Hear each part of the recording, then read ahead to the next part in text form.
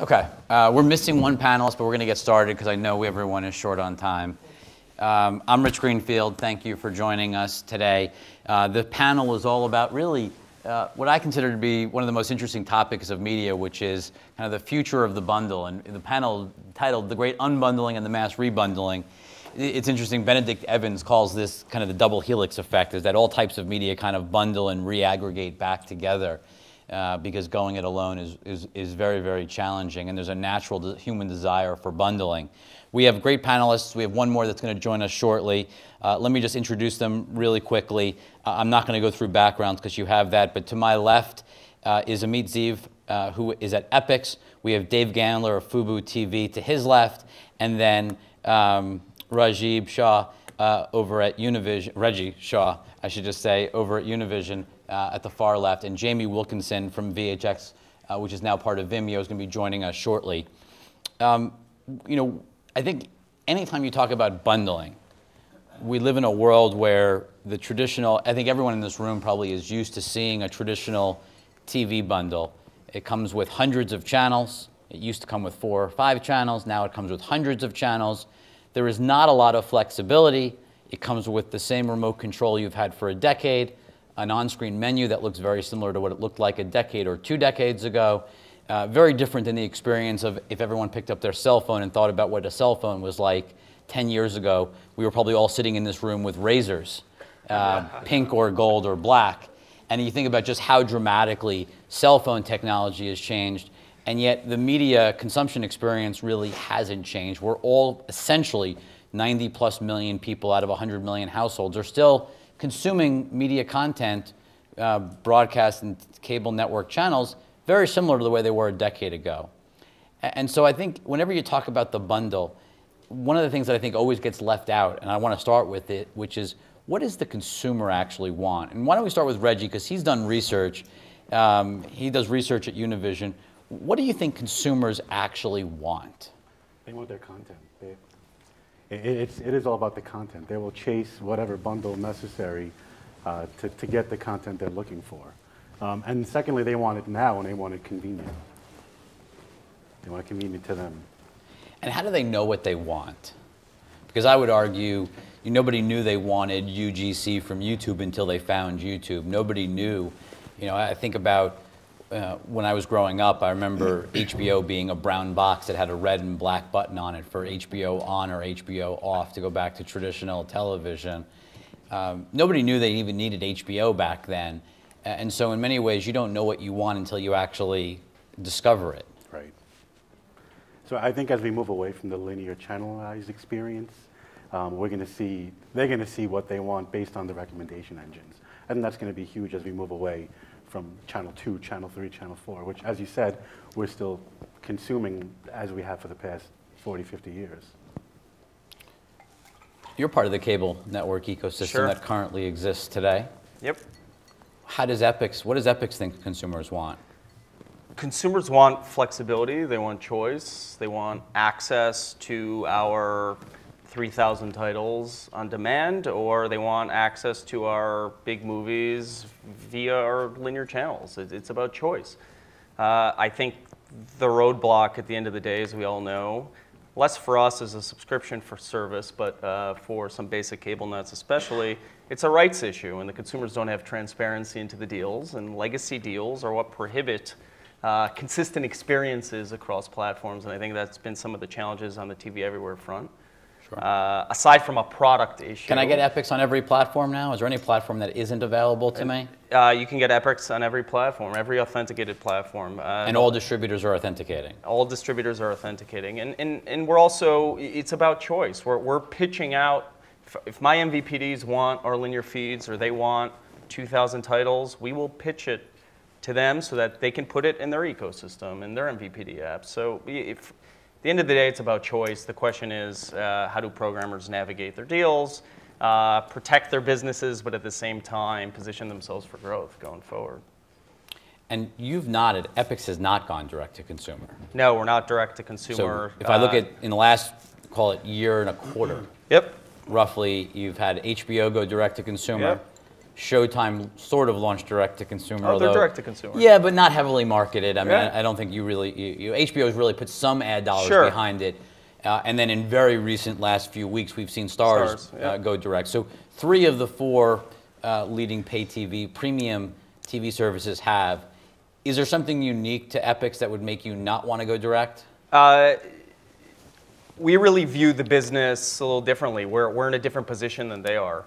Uh, HBO, Showtime, and Starz uh, have really maximized or capped out their MVPD penetration somewhere between 20 and 30 percent for the last many, many years. And, and as their corporate owners are trying to signal to the street that there's growth, they go direct to consumer. Epix is still growing in MVPD households. Our MVPD subs have grown by over 50% in the last 12 months alone. And just remind people, when did Epix get created? Epix was launched uh, six years ago. Uh, So you're still new. yeah, we're absolutely still new. Uh, our growth is driven by partnering with our MVPDs and working with them uh, to uh, create new packages to, to operate as a more flexible premium and a better price value to the consumer. Uh, HBO, Showtime, and Starz are offered for $20 a la carte. Epix helps Time Warner Cable. Epix is offered in every one of their triple play acquisition offers. Uh, so that's what it's about. It's, it's about helping the MVPDs grow their subs beyond video households. It's about broadband. It's about wireless. Uh, we like to be in business with the likes of AT&T and DirecTV as opposed to going direct to consumer and getting onesies and twosies a la carte. Mr. Gandler, you have a business that's trying to repackage Yes. lots of existing broadcasting cable networks. I think Univision's one of your first partners. Yes, it is. Uh, by the end of the panel, we're going to get Fubo to take care of um, the team at Epix. Yes, we Um, will. We're committed to that. So, We're almost done. Look Uh, forward to it. but no, but seriously, w- when we think about bundling, you're trying to rebundle. Um, I- if I put into this thing, y- you are really the rebundling. You're take, you're trying to take advantage of Yes. this fragmentation of channels carving themselves off, or even new startup channels. Correct. So, so for decades on, you've seen packages, well, networks buy other networks, create media companies, and just continue to stuff um, linear channels, you know, into basic bundles. And you know, we look at this as an opportunity to reset the bundle. And even as a small company, I, I've gone in to see certain people and have said, I if you- love the SEC network, by the way, in New York. It's really helpful. um, you know, we've gone in and have said, if you're not interested to do a deal with us today, there's a, a very good chance that you will not get in. And that's a fact. And just because you were a leader yesterday doesn't mean you will be the leader uh, tomorrow. And so repackaging is critical. I think um, what's interesting about what we're doing is we're actually, we're really focusing on a, on a very different type of viewer. We're focused on a uh, male 18 to 34 um, viewer who's sort of, you know, I, I like the cable space. I think it's a great space. I think the model's the right model. What I think is that just like in cars, you have a 7 Series BMW, you have a 5 Series, and you have a 3 Series. So for me, you know, our goal is to capture that 5 Series space. And I think if I'm right, what you'll see is that eventually you'll have that cable bundle, which will stick if you have a family, a household of people that watch different content. It's high quality. Um, you know, there's no buffering. There's, there's a lot of issues that still uh, we need to work through. On the low end, my, my guess is, and my bet is, that Netflix and Hulu, before this virtual MVPD announcement, will end up at the bottom, more sort of the, the three series. And the, the windowing strategy that you're seeing today uh, on digital will change to more of a sophisticated TV type syndication. Um, and that's, that's been our bet. And we are rebundling and taking networks that are in sports tiers and other tiers and bringing them into basic. But you don't have a network like ESPN today. I can say that we are in talks with all of the major players uh, today, uh, some of which have approached us, um, and we're, we're further along um, than we expected to be at this time. Um, We'll come back to that in a second. Jamie, who, um, who um, helped create VHX, which is now part of Vimeo, or shortly going to be part of Vimeo. As of last week, part of Vimeo. Deal's not closed though, or it is closed. Deal is closed. Deal's You can't announce it without Part of without part of. Vimeo. Mazel tov. Yeah, thank you. He's got new shirts for everyone. yeah. Um, you're trying to create lots of new channels. Um, basically help content creators develop their digital presence. I assume lots of your content theoretically could live in a Fubo world. Yeah, on and a I think uh, platform, or do you not think about it in that way? No, very, very much so. Uh, we built VHX to allow sellers, creators, uh, producers, studios, uh, you know, businesses of all shapes and sizes stand up their own SVOD OTT services, fully owned and operated, keep all the data, keep the relationships with the customers, which I have to like triple, triple underline because I think that that becomes one of our core differentiating uh, features. And historically, a lot of that content maybe wouldn't have had an outlet at all. It would have been stuff that people weren't interested in licensing or bundling because they weren't aware of it or they weren't familiar with the audiences that were out there for it. Um, but lots of it is stuff that currently is being licensed and people are interested in standing up their own services and reaching consumers directly. And just reaching smaller audiences, I presume? I mean, really trying to target niche audiences? Generally speaking, yes. Um, there might be an argument to be made for what you know all audiences being niche in some capacity. No, but I guess what I'm getting at is how, how do you draw a line? I mean, if you look at something like Tastemade and what they've tried to do, like on a Facebook or on um, on a Snapchat, how do you draw a distinction between what they're trying to do and what content creators are trying to do with VHX? Are they are they the same, or is it really a different push? It's very similar in philosophy and in the approach of sort of building a presence and building relationships with the consumer from your brand rather than producing content that you wholesale to someone else. Um, and and that, I think that's kind of the key difference that is possible now is that you can, in fact, stand up your own service. And our promise is that you can do that talking about you know, tens of thousands of dollars instead of talking about hundreds of thousands or millions of dollars to do that. Um, or if you think about like the analogy to a real, like a, a, a retail environment, or you're talking about having to buy space for these things, whereas that's now very cheap. Um, so it's opening up a lot of new opportunities more than more than it's kind of taking away from uh, existing structures. And we've seen, I mean, this, I don't know who on the panel wants to start on this, but, you know, we've seen um, what I would say, Glenn Beck went first. I mean, I think we were obsessed with The Blaze, Yeah. Not because I'm a big fan of the content of The Blaze, as much as I was focused on, they stepped out on the ledge, right? I mean, they, Right.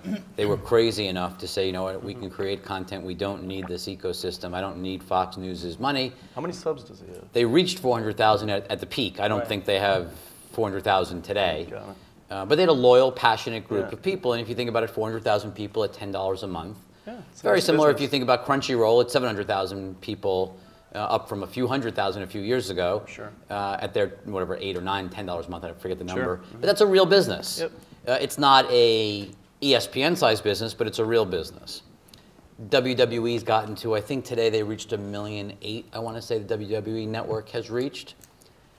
But on the flip side, the I would say the road is littered with failures. Lots of people who have tried this, and it hasn't worked. I mean, I don't sense Seeso is blowing the doors off subscriber-wise um, on a pure ad platform. I don't think anyone's using Watchable.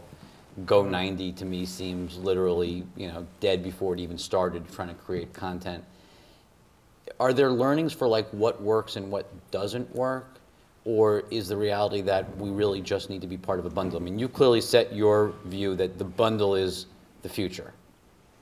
I mean, is that fair that? you- Yeah, I mean, bundle- a, a bundled need a bundle? offering, a bundled offering, whether it's a multi-channel video household bundle or some combination of that with other subscription types as part of the MVPD ecosystem, certainly a, a much in, more interesting business proposition than, uh, than standalone. Yeah, absolutely. Um, I would say, look, what, from what we've seen today, right, there, there, there have been different iterations. So the Blaze is talent driven. Um, you have the premiums that we talked about, HBO, Showtime, and Starz. I think it makes sense for some of them. It doesn't make sense for, for all of them, per se. Um, I mean, I think you wrote about it yourself, about Starz and the retaliation of Comcast not authenticating to the app. That's a big reason why not to do it for some. Um, also, the, the breadth and depth of the content needs to be a little more robust, I would say. Um, separately, uh, for the for the others like Seeso, you're seeing sort of this low-cost entry approach, 399 to the re, to, to the consumer. Uh, get some strong library content that they have access to, and round it out with you know some minimal OP. Um, it- it's interesting. It looks like it looks like R&D to me. It looks it's it's a sexy business.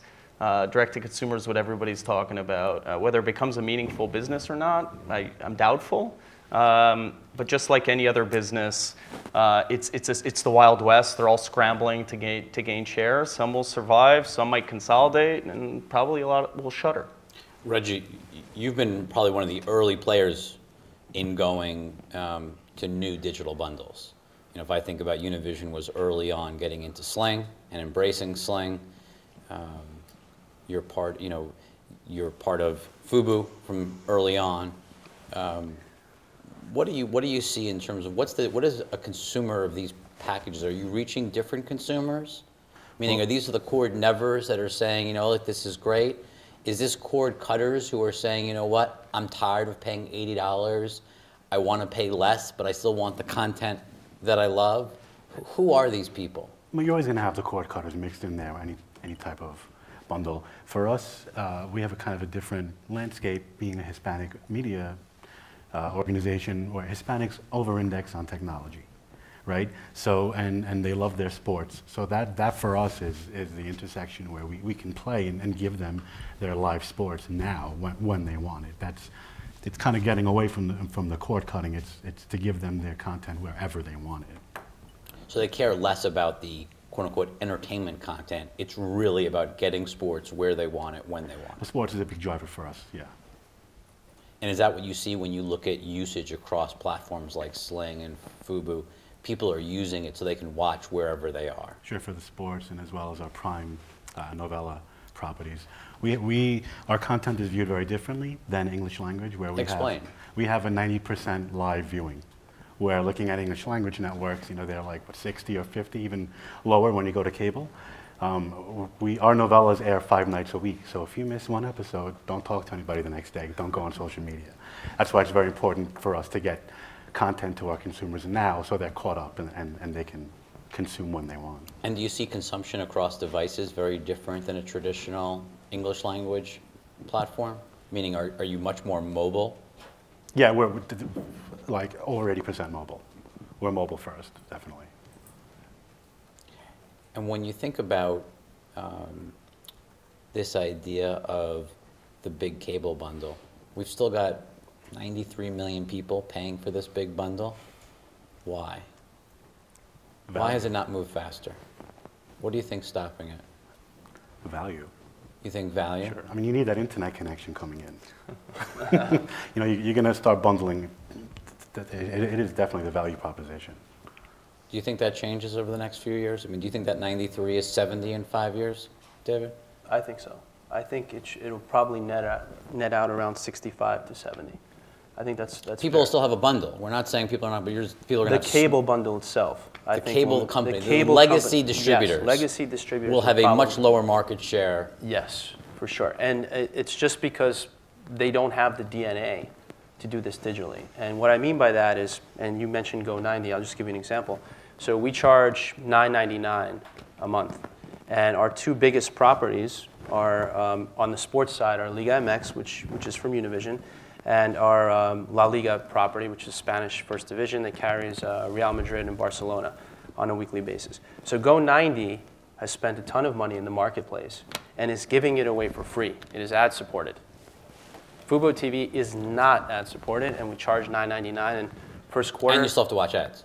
And you still have to clear. watch ads because I'm It's not ad free. Yes. You're paying You're at- for a you're- multi-channel right. video experience, and Exactly. you're then watching ads like you would normally watch on TV. Right. So we're competing with these guys, obviously head to head. They have huge budgets uh, to spend, and you know we announced we're one of the only uh, private companies that announces their quarterly numbers every single month, and we announced 15,000 net additions for Q1, despite the fact that our two top properties are, are being offered for free um, on Go90. So I think this what, what you'll see is that you really have to understand how to market this stuff, and it, you have to be very scrappy in doing it. So I, I find it, um, you know, and then there's other examples in the marketplace today where you could see that um, companies, large companies, are having a tough time figuring this out. The other piece is that's critical is once you have a cable connection, you know, the churn rates are in the, you know, maybe one to two percent per month.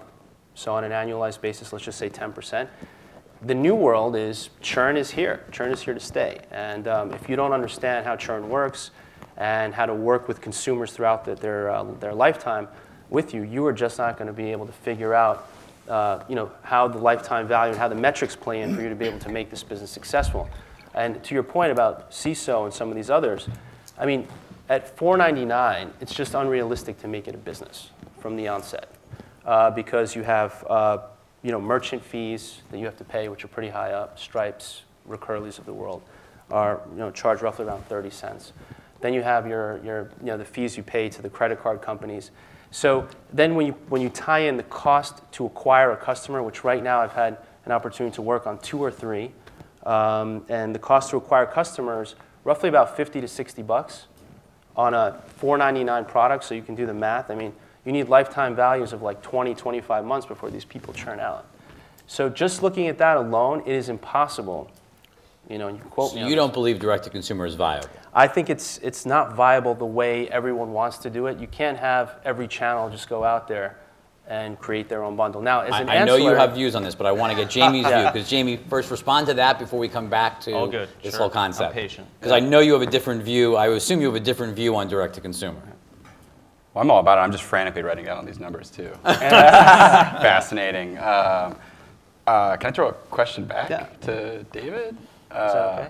Sure. Uh, uh, do you know uh, what's your theory on why you guys grew 15k subs in Q1 despite not- 15,000 subs. 15,000. Yeah, Uh, 50,000, we'd be, he'd be partying right Yeah, now. right. He wouldn't be Um, here. Give, give us a couple Dis- months. despite not having sort of like uh, exclusivity. Yeah, every, everyone, and that's the cornerstone of what everybody wants to do. I need exclusivity, I need mm-hmm. original programming, and that's how I build. Well, let me interject for one thing. I spoke, I, I gave a lecture at Kellogg a few weeks ago in mm-hmm. Chicago, and I had 50 digital media business school students, all highly focused on this, all these topics, and they were pummeling me with questions like we're pum- I'm pummeling you, and I just asked them, you know, we were talking about different services. I said, "What do you all think of Go90?" Zero of 50 had ever heard of Go90. Zero. That's why Go90 just hired a new GM. So That's true. Still early days. I do like Chip a lot. Yeah, you're a good guy. Still early days. Go ahead, sorry. Oh, I was just I was just curious since it's something like um, even even using your analogy about um, you know Beamers, Yeah. um, you know the exclusive content. I take it at, that's the seven series, right?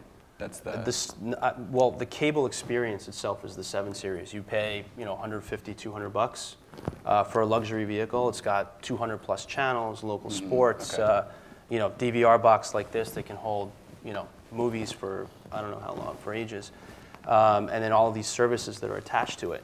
And that to me is luxury. Uh, The next level down is having, um, you know, a virtual MVPD experience where you're getting, you know, premium content, some buffering. You don't get all the NFL games. You get half of them or a quarter of them.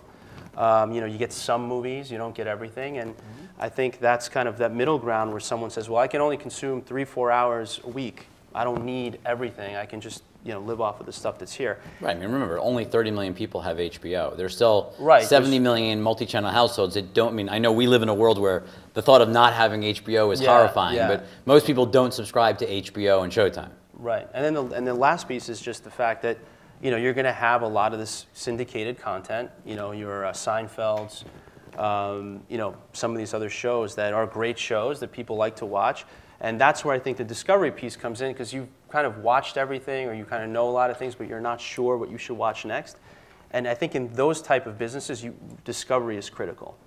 Um, and then for the linear experience, I don't know if it's completely dead, because I have data that suggests otherwise. It's obviously not because every Well, day we read, it, we read about a new virtual MVPD that's launching. Yeah, I mean, for, for us, because we're so sports focused and we launched our business on, on soccer properties, which uh, many of you may know, the season ends in May. So the first thing that happens is, you know, you start seeing ridiculous churn start happening on May 15th, and that will happen until roughly about August 5th, and then you'll see a huge skyrocket of users.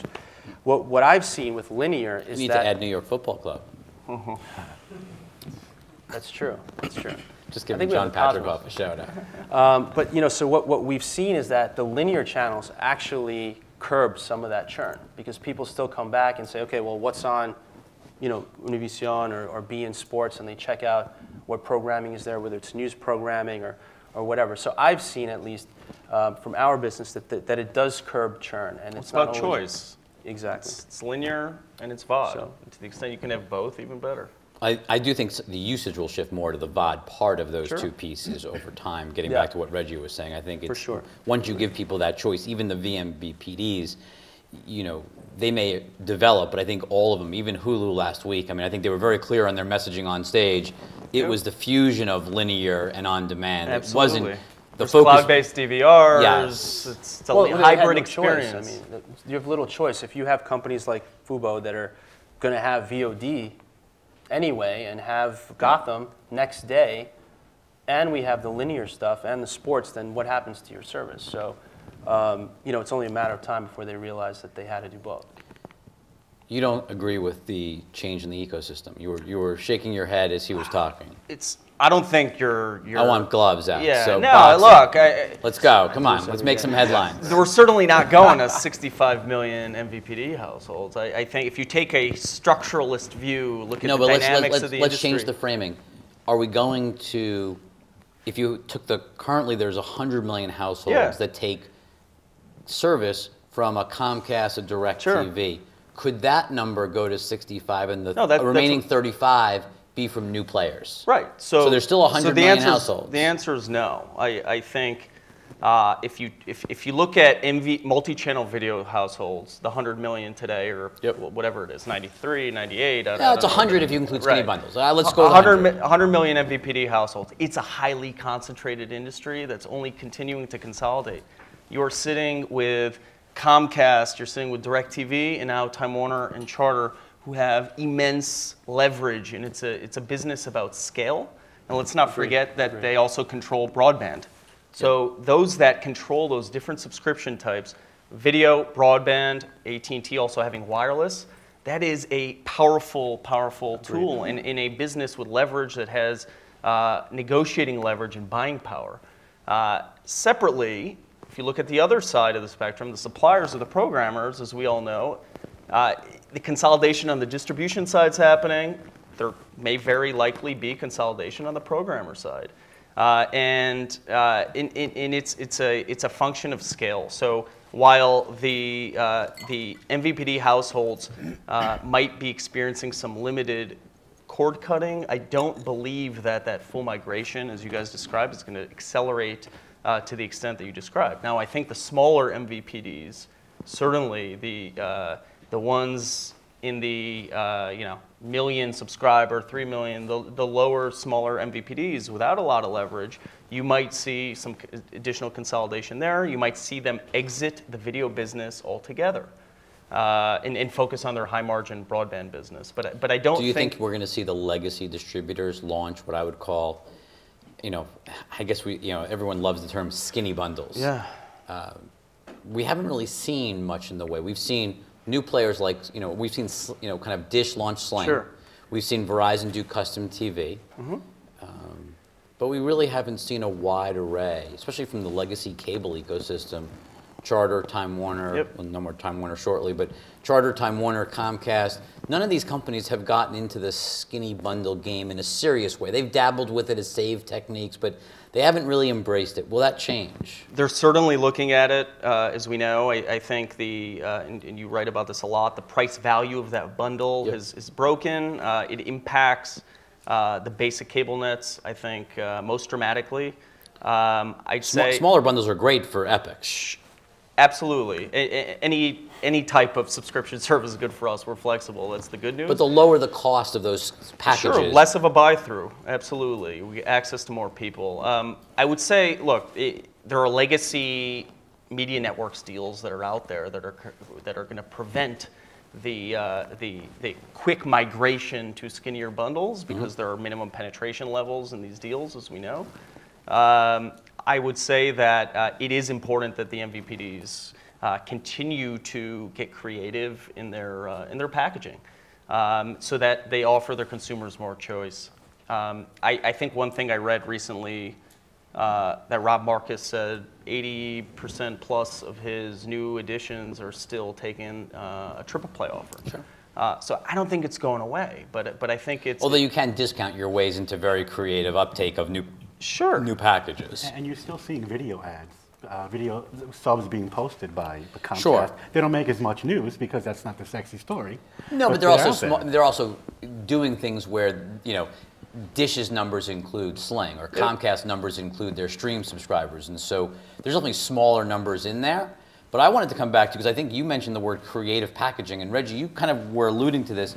Do you think we get to a point where you're seeing video packages that actually have Netflix or Hulu or Amazon or, you know, Jamie, name a few of your uh, networks. I mean, you know, David's packages right now are traditional cable and broadcast networks. We haven't seen, you know, I'm thinking of like Disney added Maker TV to Sling. Do you think we start to see over-the-top content be bundled in? I think so. I think didn't Cablevision just announce Hulu? Now is on like a It's as a, it's as a, it's a, an a la carte add-on though. We've never seen anyone included as part of a, a, a you know, again, you, I think the word is great, creative packaging. We haven't seen creative packaging. I think there are pro programmer prohibitions in those deals that wouldn't allow them to go cannibalize their MVPD business. Uh, so I think less so, and I think that uh, Hulu's Cablevision deal certainly is interesting, but I think as Hulu goes virtual MVPD, that's probably less likely as well.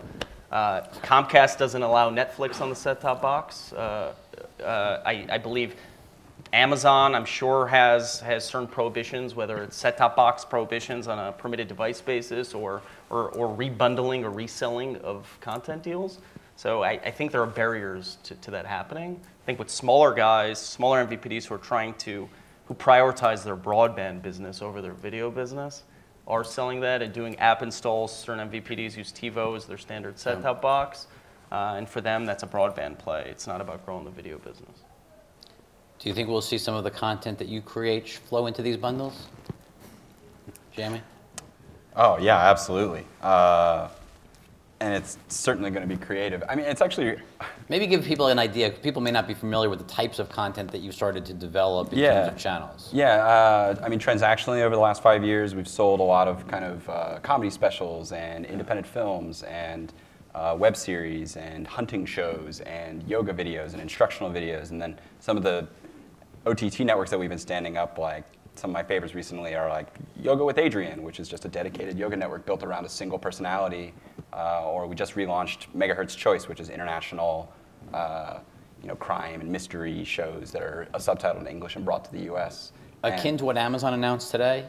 Or somewhat, or not? or- we're in the same uh, category, certainly. Although that's Amazon's cribbing you? Yeah, yeah, learning from, learning from the little guys. Um, in the, in the conversation around all of this, I always can't help but point out the fact that everybody keeps trying to defend the cable sub numbers. And, and it reminds me so much of the conversation around publishing five years ago or 10 years ago or music 15 years ago where everybody's like, no, no, no, no, no, it's still healthy, it's still healthy. But uh, if you look at cable, cable sub churn by age group, it's just the writing is on the wall. Young people, it's double digit declines year over year. It is this cord never phenomenon where even asking me the question of like, do you believe in direct to consumer? It's what other option is there if people aren't subscribing to these traditional bundles anymore?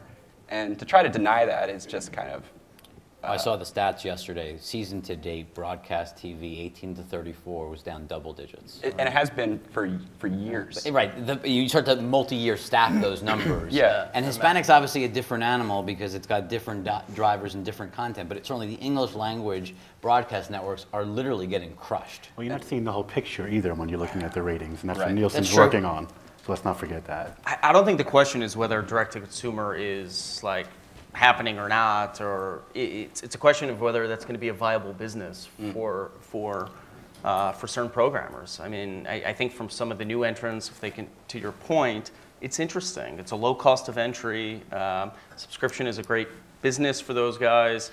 Uh, it's an alternative to If you reset the framework of you don't need to hit 50 million households. Right, You don't have to be you, Netflix, you can break right? even at 100,000 paid subs. Like, Right. that's a nice little business, but it's not a meaningful business, right? So I, I think you're looking at different market segments also. It's but not, you- it's not think- one, one or the other. Yeah, I, I think you also have to understand that we also don't require the same profit margins that Dish requires. So even though, and I'm going to tell everybody in this room, I pay 30% more Right. than any MVPD does. And I will gladly do that. And I will pay more, 10% more per year. I made this announcement public before because I can handle it. These other guys Let's do a deal. that's what I'm saying. He's got low overhead. I've been to his office. Trust me, the I trust me. His And- overhead and- is low. And, and one of the things we're doing is we're also doing this globally. Like most digital That's awesome, companies, right. the idea is can we create scale globally so that in certain markets we can be more effective?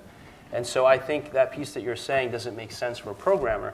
I would say there's nothing wrong with taking you know, a $10 sub in cable and having them transfer over to a virtual MVPD and get $15 or $14. To me, that seems like a, a you know, great move. And you're probably right. There's, you know, there's going to be a lot more virtual MVPDs, but I think to deny the fact that, um, you know, that this is, these are viable businesses and that these are, are serious alternatives to uh, the cable industry, I think it would be a mistake. And the other Yeah. thing I would, I would note, and this came from your blog, which I thought was quite interesting, was the, um, you had a chart a couple weeks ago about mobile broadband penetration. And what I would say is if you think cable companies are safe, I go back to BlackBerry. They thought they were safe and Apple was a toy, um, you know, in 2008. Um, and the, the fact that mobile broadband is, is growing in homes, and it works very well. In fact, trees don't fall on poles, and I, you know, I have Cablevision. Um, sometimes it's out. Any storm, any snow, any something, and, and, and you know, you lose your, uh, your, your, your internet connection. So I think that you have to look at all of these variables. And what I always tell my board, and I have four media companies on my board now, I, would, I always say to them, this is happening in real time. And anybody who thinks that they know what's going to happen is clearly mistaken. And the way our approach to this is let's not make any decisions and let's take each day by day and figure out how to navigate through these headwinds. But I think there'll be a lot of change going forward, and it's absolutely impossible to know who's going to win. The consumer seems like a winner. Is that fair? Do we all agree on that? From Are you going to end up with, Yeah, you know, more for less, or do you think you actually end? I mean, if I take a lot of the legacy media executives, they'll say, well, without our ecosystem and the $80 bundle and everyone paying in, all of this great content won't get created. I think the consumer is absolutely the winner. I mean, uh, there are more options than ever from a distribution standpoint, more services that is, uh, and there are more. The, the content's better than ever. I mean, at least at least I may the, not get naked and afraid on Discovery, though. Yeah, at least on the TV side. I mean, we've all seen the FX study. I mean, 409 scripted series last year. There's a lot of good TV on. So whether that's accessible through basic or through premium or through an OTT service, I think at the end of the day, it's great for the consumer. What happens to advertising? You're ad free, so you're, these you're, guys. you're I'll be not quiet. answering this Yeah, I'll be question. quiet. Uh, you can certainly give your views in a second, but what happens to advertising? Because right now, Fubo um, or Univision on Sling, um, it's a very similar experience to what I get today turning on Time Warner Cable in New York, despite the fact that you know exactly who I am, where I live, and what I watch, correct? I assume you track all the data of Mm-hmm. yes, we everything do. I'm doing. Yes, we do. So, you know, Don't tell them too much. I'm not going to say too much, but what I will say is that we were really worried when we launched uh, last year on January 8th because the concern was nobody wants ads. And I came from a VOD service uh, prior to this that was acquired uh, by Warner Brothers recently. Um, and the fear was you have 12 minutes of commercial time per hour, right? 48 minute show, 12 minutes of commercial time. I can tell you there were absolutely no complaints, and we can get as high as to 70,000 concurrents during a specific show that we're marketing. So, um, you know, people are not really complaining as long as the price is right. And currently at $9.99, I, I think we're an add-on to, you know, a Netflix, to a cable bundle, to, to many different things. So I think it, it kind of works. Um, But do you get programmers? I mean, you have programmers on your board. Yes. They ever go, why are we running 20 minutes of ads per hour? Why don't we show the right ad to the right person and just, you know, it, it, it's amazing how little, we were talking about how TV hasn't changed. Advertising is, the fact that we're still talking 30 second spots. Google lets me skip an ad if I don't like it. Facebook lets me skip an ad if I don't like it. Snapchat, I just swipe past it. TV, I'm still in a world of 18 minutes of ads per hour that are just kind of there.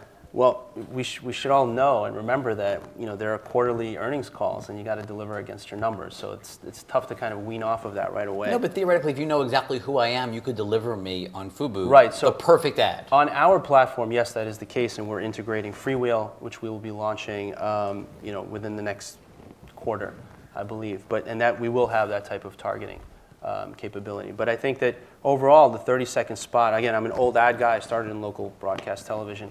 It works. It works well. And when I talk to friends of mine that are you know in these YouTube channels or MCNs, it's tough to you know create content for every advertiser for your unique platform. I mean, it's it's just unrealistic to you know go to Tastemade, create some you know food recipe thing, then you go to Whistle Sports and then have something like sports oriented.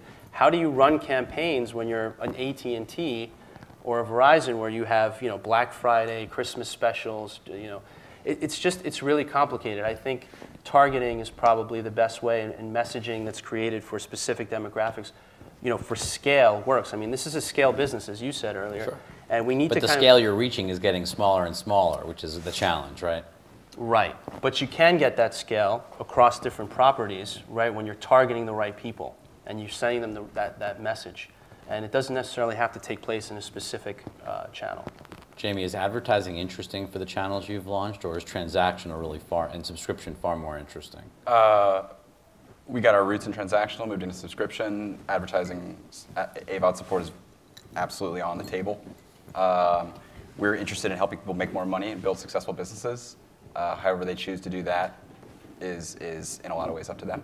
Um, it's interesting. Uh, I think it depends on the style of content in a lot of in a lot of cases, like to that point around exclusivity versus non-exclusivity, or how mass available something is. Um, but it's not my forte, so I don't want to delve. And Reggie, you live in a TV everywhere world where you've launched a lot of experiences direct to, or not direct to consumer, but accessible by consumers as part of their bundled They have, a, experience. they have one direct-to-consumer brand. Yes, we do. They do. thought you did. You want to talk about it Uh, sure. We, and what uh, you see on that? Is that ad supported? Yes, it's actually, it's Univision now, so it's our version of CBS's All Access. Um, so we have our two broadcast networks, uh, the, the feed on there. Um, we are actually the second network to go Nielsen rated for digital, and that's starting at the end of the month. And so you run the same ads that appear on TV, run on Univision now? Yep, so when you launch Univision now, here you get our, linear. Our uh, New York affiliate right on your tablet or on your phone. So it- it's the same experience. And what do you do for the local? You run the same local affiliate ads? Yep, yes. Cool. Do you guys have plans to offer ad-free tiers? Out of curiosity, of uh, Hulu? Uh, Not, not that I know of. No. not- I wouldn't do that, Yeah. ever. Just Yeah. one comment. CBS. For the non-advertising guy. CBS showed great earnings, didn't they? They did. To did. the financial analyst, right? So what, what do you attribute to that? Hey, Look, I think part of it is, is that um, the reality is, is you have, nobody really wants to upset the apple cart, right? It's very hard to want to, you know, disruption is hard to do. Right. Uh, And so right now, everyone is kind of selling to the traditional ecosystem as well as monetizing to third parties like Netflix and Amazon and Hulu. And um, so everyone's getting kind of, is almost in many ways double dipping. Right. You're getting benefits from the new and the old ecosystem, but yet consumer behavior is shifting. Absolutely. To me, ratings are the leading indicator of everything. Right. Mm-hmm. Because as eyeballs shift, ultimately, money spent, consumers won't spend money on whatever it is. That They'll shift to a Univision now. They'll shift to something. Yep. Ultimately, if they're using something, they're not going to just out- overspend for something they're not using. Right. And so that'll be the ultimate telltale sign. I think advertising, we're in a transitional phase. I, my, my gut is, is just, it's early, right? I mean, you know, we think about mobile video being this huge category, and it is relative to where it was. I mean, if you look at Facebook's revenues last quarter, they grew by essentially two Viacoms. I mean, literally, they added almost two billion of revenue. Amazing. And Viacom's ad revenue in a quarter is one billion. So if you just think about the scale. But remember, Facebook didn't do any video. Remember, no one in this audience was uploading content, video content to Facebook before the Ice Bucket Challenge in August of 14. Right. So that's just, I mean, think about it in the scheme of this. You're a six year old business. Yeah. Facebook video monetization is, you know, call it 18 months old. It's Right. crazy. Yeah, it's amazing. So, I mean, I I think part of it is just moments in time, right? I mean, Absolutely. re- reaching quote unquote Super Bowl sized audiences is still relatively new on, on mobile and digital platforms. Snapchat Discover didn't even exist, you know, 15 months ago. So I think part of it is just timing. I think there's a shift, but you, you can feel it. I think, you know, Jamie was mentioning before, there's no doubt that something's happening Sure. now. And this, it feels like there's a rush for everybody to get in on uh, doing some form of content aggregation. Yeah. And I think part of it is everyone spends so much time watching TV, people want to figure out a way to monetize TV and participate in that ecosystem. Sure, for sure. One topic we didn't talk about is how does everyone think about Netflix? So you compete with Netflix. Yeah. Are they a tough competitor? Do you? Well, they were one of our biggest customers for a long time. Uh, we we took, you know, they, they they they moved into the exclusivity business, and as a result, uh, we did a deal with Hulu instead. Uh, I we look at and also Netflix. I, and is your content working really well on Hulu? absolutely, and we window it differently. So we have Explain to everyone what that means. we have an MVP. The MVPDs uh, get access to our titles in an earlier window than uh, than our SVOD deals, uh, and and our SVOD partners still see tremendous value in the title. So it's really driven by the content type. Uh, we have exclusive first-run movies, and that helps sell subscriptions. Uh, but I, what I would say is I think Netflix's strategy has changed. Netflix early on was also positioning, was it an MVPD? Was it a network? What is it? Today, it's made the decision, it seems to be, that it, that it looks, it's, it's, a, it's a premium. It's, it's a new age premium network. It's a subscription service that can go global. Focus, they just got the Disney output deal from Starz. They control the pay one window for Disney. Um, it's a premium. And now they're heavily investing in originals uh, which is different than the Hulu model, which is taking more of a distributor model, uh, especially with their virtual MVPD announcement. Uh, I think we're out of time. Any other last comments? I guess why don't we just do one last uh, question uh, before we break? Um, if you could design the ultimate video bundle, what would it be? That's a good question. Especially since you're designing one. I mean, Don't screw this up. it's a very tough question. We talk about this every day. Um, you know, we're focused on a particular type of customer, and the bundle that we're building is really for a very young male-oriented, you know, viewer, and it's heavily sports skewed, uh, heavily regional sports, um, with a layer of national sports and, and movies. And hence, we should have our discussion afterwards. Look forward to it. So that's how, that's what we're thinking. Jamie? Uh, I'm uh, building a platform for other people to build their own bundles because I have no idea. Uh, For me, the, the ultimate bundle would be uh, with the opening up of the set-top box. Um, I think is going to open up worlds that we've never seen before because now you can get your box from Roku or from, from who knows and, and watch your, again, your linear channelized experience. Maybe my remote won't have A, B, C, D buttons on it Right. for reasons I don't even understand. Seriously, that, that's, that's going to, I, I think, really take everything and marry it together and really create the ultimate viewing experience. New and old. Yes. One that includes Epix. I'm just kidding. Um, not really. Uh, it's, it's about choice. It's about choice. I, I don't know what the right channel configuration is. I think everybody's trying to figure it out. Um, something that has good price value from a license fee to ratings perspective, certainly. Um, but uh, it's about choice and flexibility. Thank you all very much. It was great. Thank you. Thank you.